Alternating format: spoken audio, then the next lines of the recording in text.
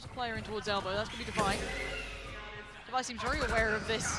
And now Derke is dead. There, lovely combination work there. Isolating one. It's labored.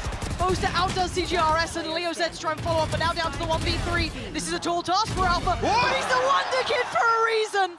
Bring it down to the 1v1. He's got the spike, he's got a plot, and he has room. He's got a camera as well. They can post this up and can play a very safe position now.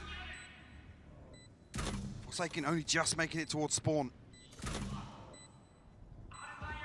I must wait a moment. And he's creeping closer. Does Forsaken turn? Alpha backs away.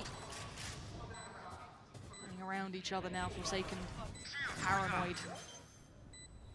Just the tap on the spike and Alpha gets closer. Two kills already, needs the third. Drawn in! Oh, the shorty! Seals it, signs it, delivers it. Fnatic move forward